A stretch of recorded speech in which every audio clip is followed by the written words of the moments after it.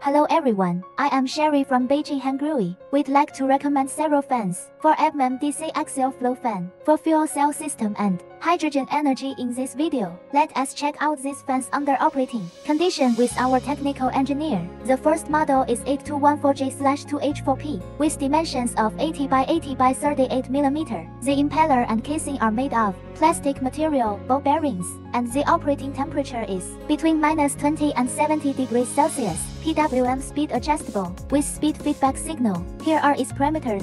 Rated voltage 24 volt, rated current 1.55 ampere, rated power 37 watt, rated speed 14,000 rpm. The maximum air volume is 2,200 cubic meter per hour. The maximum static pressure is 710 pa. The second model is 4114S-2H8P with a size of 119 by 119 by 38 mm. The impeller is made of PA plastic and ball bearings. The operating temperature is between minus 20 and 75 degrees Celsius. It can be adjusted by PWM and has a speed feedback signal. Here are its parameters. Rated voltage 24 volt, rated power 120 watt, rated speed 11,000 rpm. The maximum air volume is 560 cubic meter per hour and can operate under 0 to 500 pa wind pressure.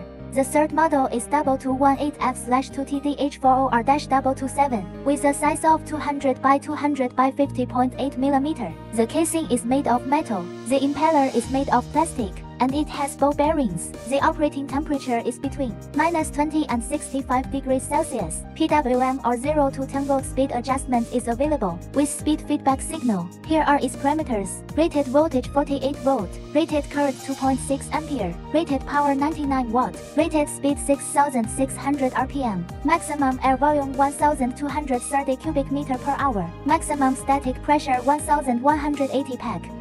Our company keeps offering clients with large quantities of spot goods, which is available in various fan types and meets requirements of different industries in short delivery time. Moreover, our professional technical engineers can help you choose design, customize fan solution, etc. For more good fans, please follow us.